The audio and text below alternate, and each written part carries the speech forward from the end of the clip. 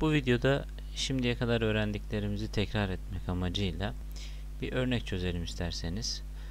İlk olarak boş bir VI dosyası oluşturuyoruz. File new VI'den. Daha sonra Windows T left and right diyerek front panelimize blok diyagramımızı sağa ve sola yaslıyoruz. Örnek olarak ee, sıcaklık değerlerinin Fahrenheit, Kelvin, Celsius ve Reaumur arasındaki dönüşümünü yapalım diye düşündüm. Bu hesaplama için gerekli olan bilgiler bunlar. Ben daha önceden kopyalamıştım bir yerden. O yüzden şimdi buraya yapıştırıp buradan bu formülleri kullanarak bir şeyler yapmaya çalışacağım.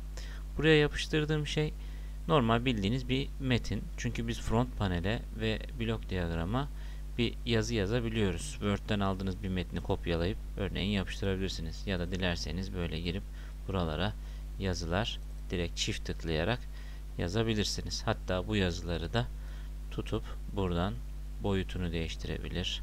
Yine kalın yapabilir, sağa sola hizalayabilir gibi birçok örneği uygulayabilirsiniz burada yine. Şimdi konumuz bu değil. Buraya bir termometre örneği yapmak. Hemen başlayalım. Buradan numerikten termometreyi alıp koyuyorum. Bazı kimseler bu örnekleri yani bu e, bileşenleri kullanmaz. Ben de pek tercih etmiyorum. Bunlar yerine silver nesnelerini tercih etmek daha güzel görüntüler oluşturmak için kullanılır. Silver nesnelerinde de yine görmüş olduğunuz buradaki bu paletteki birçok nesnenin daha modern görsellerine buradan erişebilirsiniz arkadaşlar. Örneğin şu şekilde bir termometre kullanabilirsiniz. Görmüş olduğunuz gibi biraz daha görseli güçlendirilmiş. Yine benzer şekilde bir tane daha alalım. Silver nesnesinden. Şimdi görmüş olduğunuz gibi burada bir boyutlandırma yaptık. Fakat yeni aldığımız orijinal boyutunda geldi. Ama ben yine bu boyutlandırmadan istiyorum. Tekrar tekrar uğraşmaktansa ne yaparız? Kontrole basılı tutarak bunu çoğaltabiliriz.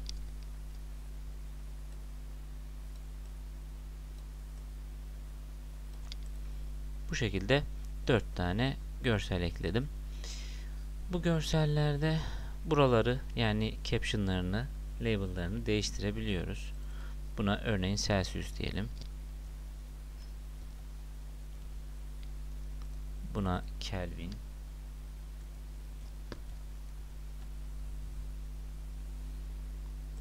Buna da Reaumur diyelim. Bu ise Fahrenheit olsun.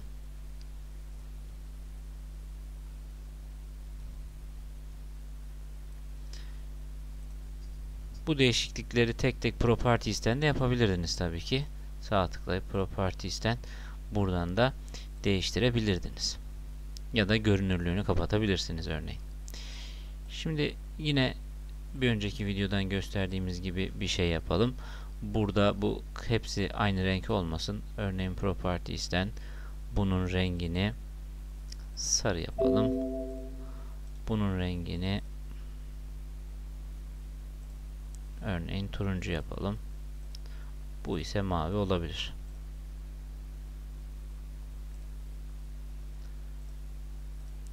Şimdi biçimlendirmemizi tamamladık.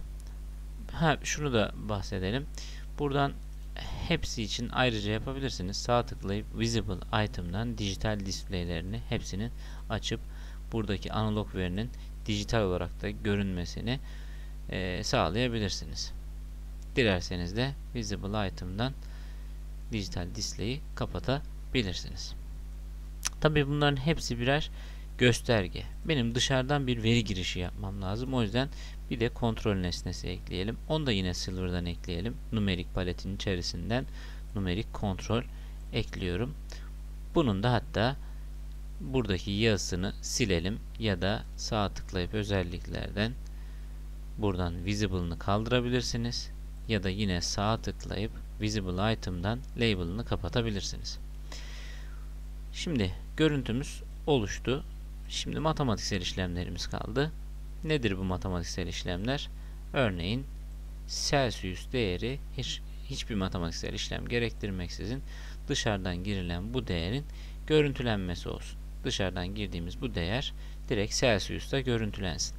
İlerleyen videolarda tabii ki bunları artık değiştireceğiz. Buradan bir e, kontrol nesnesinden değil de bir DAC kart üzerinden, bir Raspberry üzerinden ya da bir Arduino üzerinden biz normal bir sıcaklık verisini LM35 gibi DT11 gibi bir veriyi analog olarak gerçek saha verisini okuyup burada görüntülemeyi de gerçekleştireceğiz inşallah. Ama tamamen aslında konu aynı olacak. Sadece burası değişmiş olacak. Devam edelim. Buradan daha sonra Kelvin için bir işlem yapmamız gerekiyor. Ne yapmamız gerekiyor? Celsius'a 273 eklememiz gerekiyor. Celsius buradan dışarıdan gelecek. 273 ekleyeceğiz. Hemen ne yapıyorum? Bu sefer tabii ki burada değil. Burada ne yapıyorum? Numerik paletinden bir toplama operatörü alıyorum. Buradan gelen değerime 273 ekleyip Kelvin'de göstermem gerekiyor. Pekala. Buraya 273'ü nasıl ekleyeceğiz? Bunun için de bu pine sağ tıklıyoruz. Create Constant diyoruz arkadaşlar. Ve değerimizi yazıyoruz. Bu kadar basit. Reomür için 0.8'e çarpmamız gerekiyormuş. Hemen reomürümüzü alıyoruz. Hatta şöyle biraz dağınık yapayım sonra başka bir şey göstereceğim. Celsius'u 0.8'e çarpıyoruz. Bu sefer gidiyorum numerik paletinden bir çarpma işlemi alıyorum ve bunu yani bu değeri buradan gelecek olan bu değeri 0.8'de create constant diyerek çarpıyorum. 1.8 ile çarpıp 32 eklediğimizde de Fahrenheit oluyormuş. Hemen onu da şuraya koyalım. 1.8 ile çarpıp 32 eklemek. Yani bir çarpma bir toplama ihtiyacım var. Bunlar da zaten burada var. Yine kontrolle bunları çoğaltabiliriz bir pratik olarak.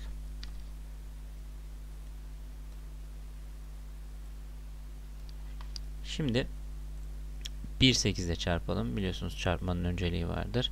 Buradan gelen değeri 1.8 ile çarpıyoruz. Daha sonra bu değere 32 ekliyoruz. Yani buradan çıkan bu sonuca buradan çıkan bu sonuca 32 ekleyebiliyoruz. Toplamada ve çarpmada önemli değil yer değiştirme biliyorsunuz ama çıkartma ve bölme yaparken bu pinle bu pin önem arz ediyor arkadaşlar. Buradan create constant diyerek 32 ekliyorum ve bunu çıkışa aktarıyorum. İşlem bu kadar basit. Çalıştırıyorum. Bir kerelik çalıştırırsam görüntüyü bir kere de alırsınız. Daha sonra e, çalışma durur. Sürekli çalıştırırsanız buradan girdiğiniz anlık veri anlık olarak diğerlerine hemen yansır arkadaşlar. Tabi burada e, bu oluşturduğumuz blok diyagramı biraz daha sade hale getirebiliriz. Nasıl? Şu görseli büyütelim. Burada çünkü küçük olduğunda görünmeyebiliyor. Büyüttüğümüzde hepsini seçersek veya boşta bir yeri tıklarsak buna bastığımız zaman görmüş olduğunuz gibi bu görseli daha sade bir hale getirecektir.